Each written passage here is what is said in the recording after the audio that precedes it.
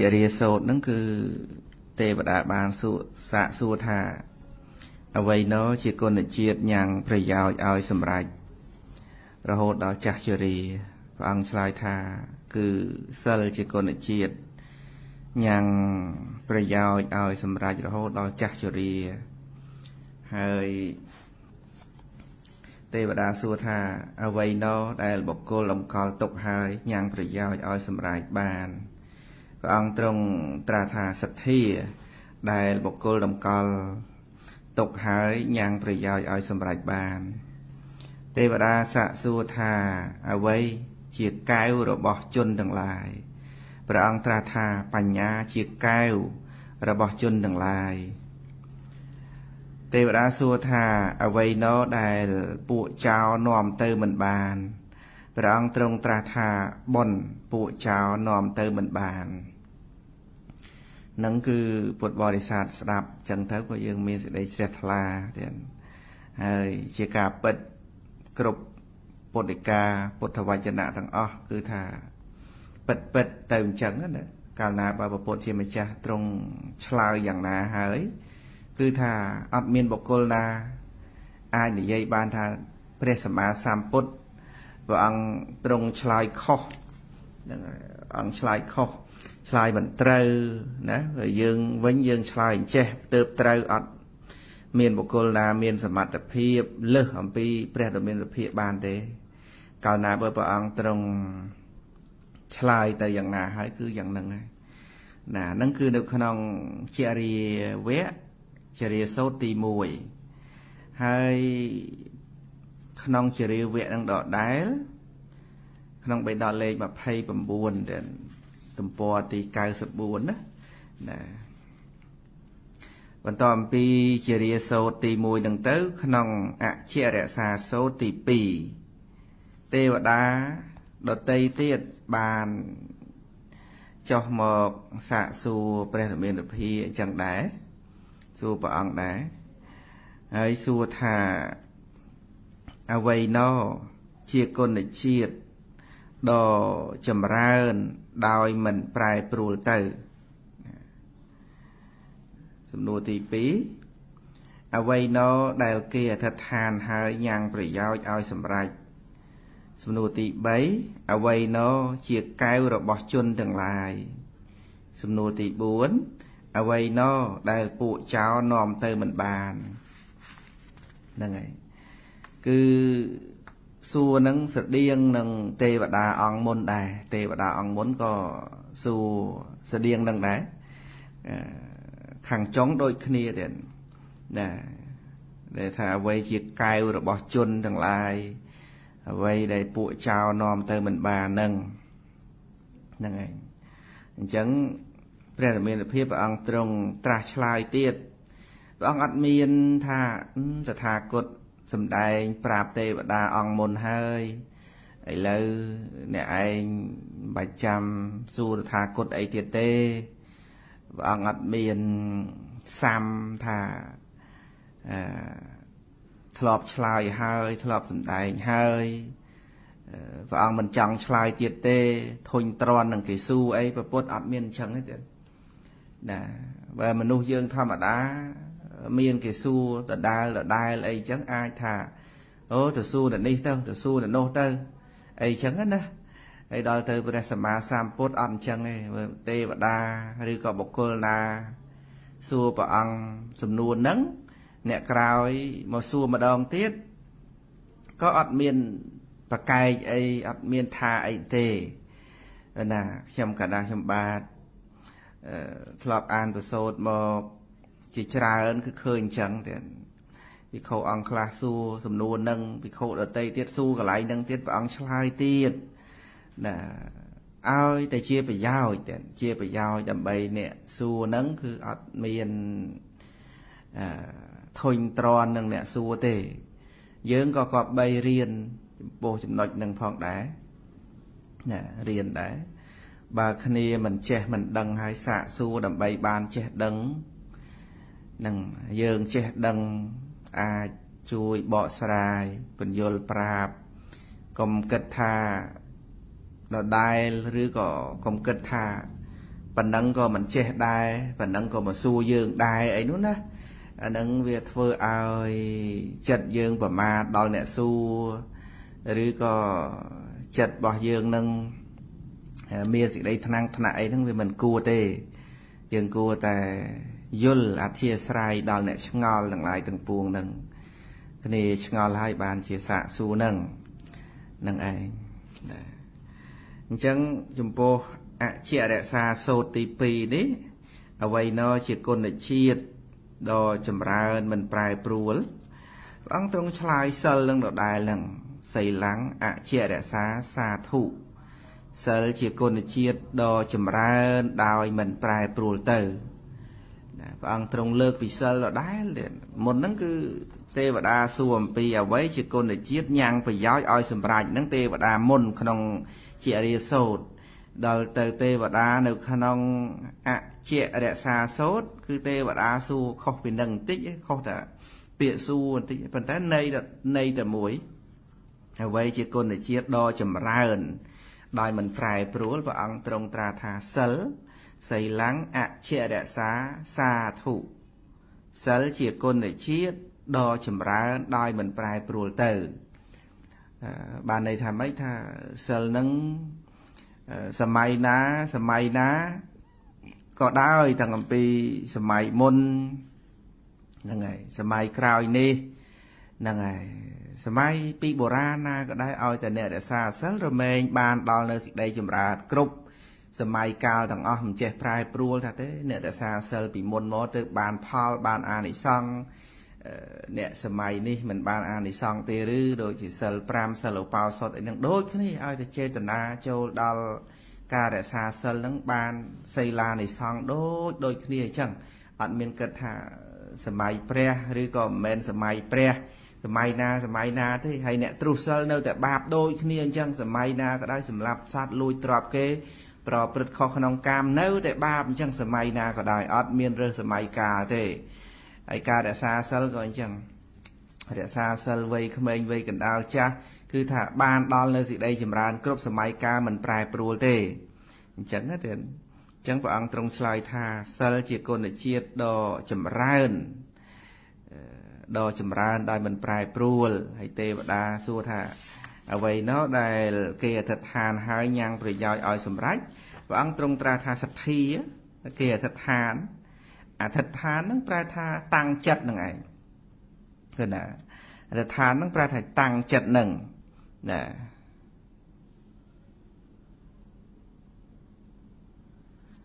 ការ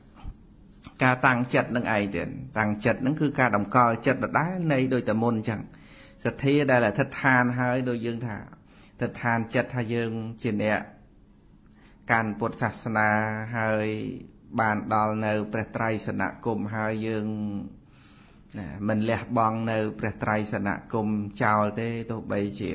មានរឿងអីរឿងអីក៏ដោយណាយើងមិនលះបង់នៅព្រះត្រៃសនគមចោលទេអានឹងដែលថាយើងអធិដ្ឋាននឹងតាំងចិត្តថាត្រូវតែជឿកម្មផលអញ្ចឹងទៅ ណាអានឹងអធិដ្ឋានណាហើយការអធិដ្ឋានបែបហ្នឹងគឺញ៉ាំងនៅសេចក្តីចម្រើនឬក៏ថាញ៉ាំងនៅប្រយោជន៍ឲ្យសម្រេចហើយហើយទេវតាសួរថាអ្វីជាកែវរបស់ពួកជន បានព្រះអង្គត្រាស់ថាបញ្ញាជាកែវរបស់ពួកជនហ្នឹងហើយយើងគ្រប់គ្រប់គ្នាចេះតែចង់បានកែវមณีកែវមុខក្តាកែវបិទូឬក៏ថាលើតំណែងថាកែវមณีរបស់ស្ដេចចក្រពតល្អហ្នឹងហើយរុងរឿងណាស់កែវមณีរបស់ស្ដេចចក្រហ្នឹងបើសិនជាយើងបានកែវមณีហ្នឹងមួយមិនដឹងថាអស្ចារ្យប៉ុណ្ណាទេណាកែវមณีរបស់ស្ដេចចក្រប៉ិនដុំរទេសទៀតហើយលើកទៅលើទៅគឺថាភ្លឺ12យោជអីចឹងទៅហ្នឹងហើយនឹងកែវមณีរបស់ស្ដេចចក្រពតជាមณีរតនៈហ្នឹងគឺថាអស្ចារ្យកែវមณีរបស់ស្ដេចចក្រហ្នឹងមានប្រមាណជា36ជ្រុងអីចឹងទៅ ហ្នឹងហើយប៉ុន្តែកែវមณีរបស់ស្ដេចចក្រហ្នឹងក៏នៅតែចាញ់កែវគឺបញ្ញានេះដែរព្រះអង្គសម្ដែងថាបញ្ញាអ្នករៀនណាងរតនាងបញ្ញាជាកែវរបស់នរជនឃើញទេបញ្ញានឹងជាកែវរបស់នរជន យើងម្នាក់ម្នាក់បើមានតែកែវភ្នែកវាអត់គ្រប់គ្រាន់ទេតើមានកែវគឺបញ្ញានឹងទៀតកែវបញ្ញានឹងទៀតណា សប្ងៃបើយើងរស់នៅ មានតែកែវភ្នែកវាបានតែភ្លឺហ្នឹងសំបីសម័យក៏វាមានភ្នែកដែរគោក៏មានភ្នែកហ្នឹងហើយសត្វទេឆានភិកច្រើន គឺថាមានភ្នែកហ្នឹងហើយបើមិនពិកលពិការអីទេនោះអញ្ចឹងអញ្ចឹងគឺថាហេតុអីបានជាសត្វទេឆានហ្នឹងមានភ្នែកដែរប៉ុន្តែមិនចេះធ្វើបន់ធ្វើទៀនស្គាល់បាបស្គាល់បន់អី ហ្នឹងហើយសត្វទេរឆាន99%ហើយឬក៏ចិត្ត100%ហើយអាមិនក៏ធ្វើតែបាបអញ្ចឹងទៅឬក៏ថាមិនដឹងមិនអីមិនចេះស្ដាប់ធម៌មិនចេះរៀនធម៌អីថាមកអំពីសត្វទេរឆាន មាន តែកៅភ្នែកវាអត់មានកៅគឺបញ្ញាហ្នឹងហើយអត់មានធម៌អសញ្ញា ជាកៅភ្នែកនេះអញ្ចឹងយើងទាំងអស់គ្នាក៏គប្បីជ្រាបដែរថា តើយើងសប្ងៃនេះមានកែវភ្នែកហើយយើងមានកែវគឺបញ្ញាដែរឬក៏អត់កែវគឺបញ្ញានឹងសំខាន់ណាស់សំខាន់មែនតើណាអត់កែវបញ្ញារស់មិនបានទេហ្នឹងហើយដើរធ្លាក់ជ្រោះដើរទៅជន់បន្លាដើរទៅគ្រោះថ្នាក់ សំដៅដល់អីគឺការប្រព្រឹត្តនឹងឯងកាលណាបើអត់មានបញ្ញា ប្រព្រឹត្តចេះតែខុសគឺណាប្រព្រឹត្តចេះតែខុសអត់មានកែវគឺបញ្ញាហ្នឹងអញ្ចឹងយើងមាននៅបញ្ញាជារតនៈបំភ្លឺផ្លូវសពថ្ងៃទៀតភ្លឺផ្លូវរស់នៅសពថ្ងៃហ្នឹងគុំតែបានកែវគឺបញ្ញាប៉ុណ្ណឹងណាកុំអីមិនដឹងថាយើងទៅណាមកណីទេហើយអរគុណ ដល់បញ្ញាដែលចម្រើនអប់រំមក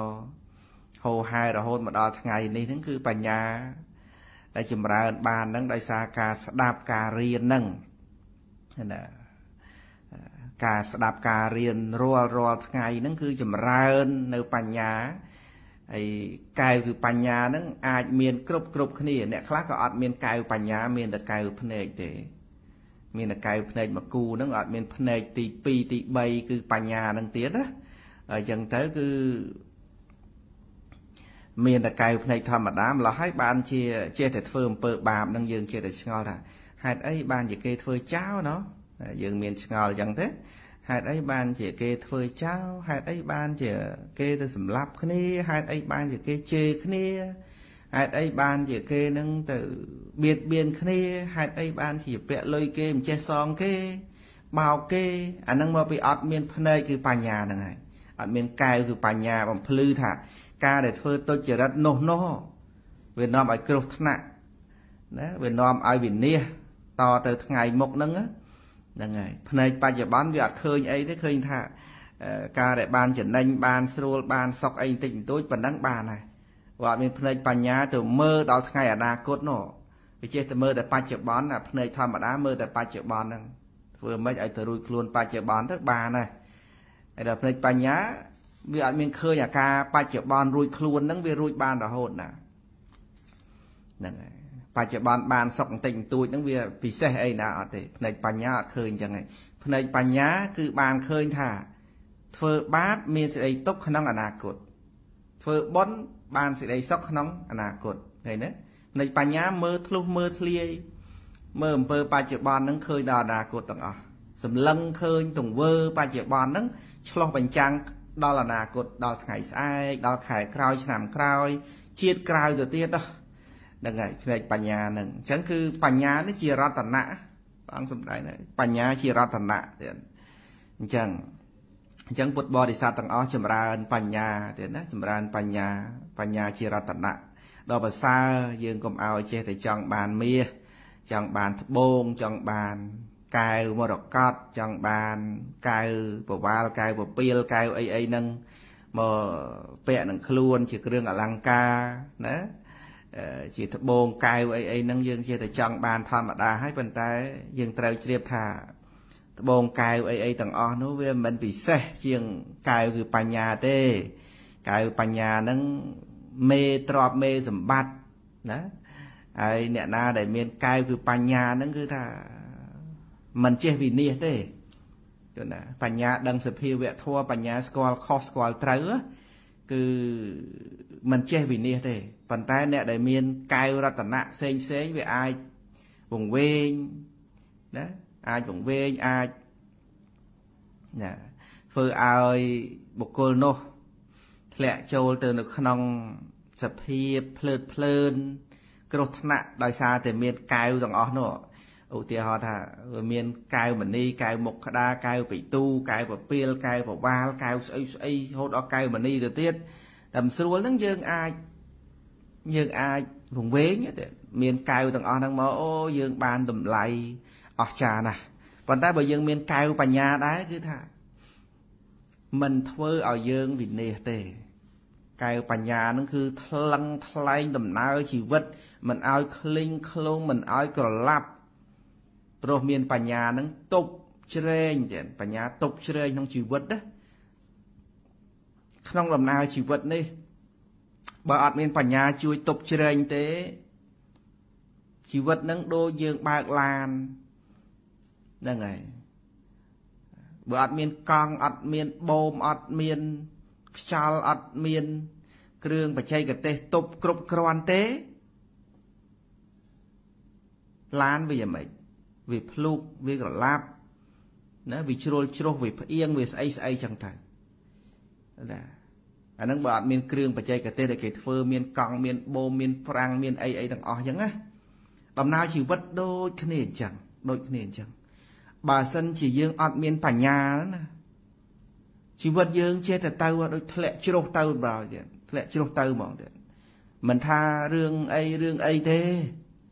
ជីវិតនឹងធ្លាក់ទៅធ្លាក់ចូលទៅក្នុងជ្រុះនៃសេចក្តីវិនិច្ឆ័យអន្តរាយដោយប្រការផ្សេងផ្សេងព្រោះអត់មានបញ្ញាជាគ្រឿងទប់ឬក៏អត់មានបញ្ញាជាគ្រឿងបំភ្លឺផ្លូវនេះណាអញ្ចឹងសំខាន់ណាស់ណា ក្នុងជីវិតនឹងចាំបាច់ត្រូវការបញ្ញាណាបានយើងត្រូវការខ្សែគប់ហើយយើងរក្សានៅកែវហ្នឹងកុំឲ្យវាខ្វាក់កុំឲ្យវាបាត់បង់ទៅណាយើងរក្សាតែកែវភ្នែកមួយ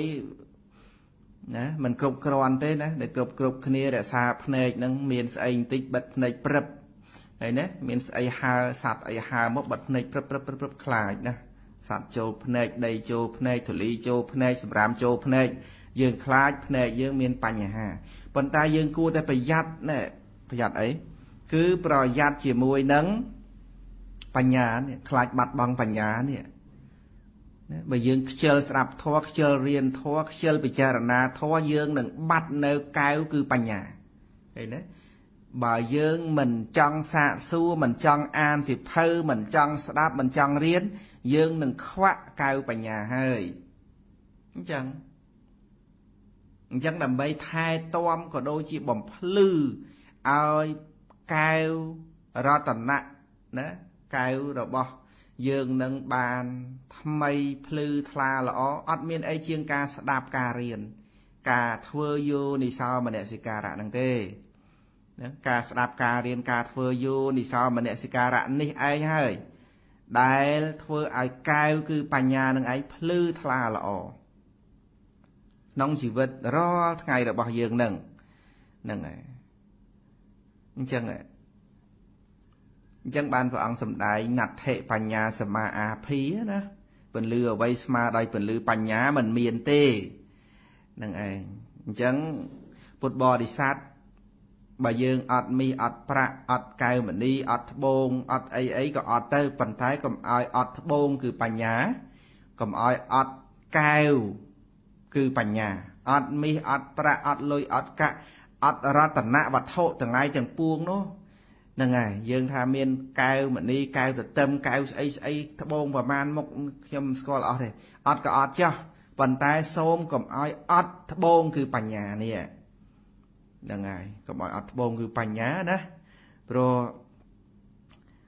ត្បូងគឺបញ្ញាកែវគឺបញ្ញាហ្នឹងវិសេសវិសាលជាង ត្បូងរតនៈអីផ្សេងផ្សេងទាំងអស់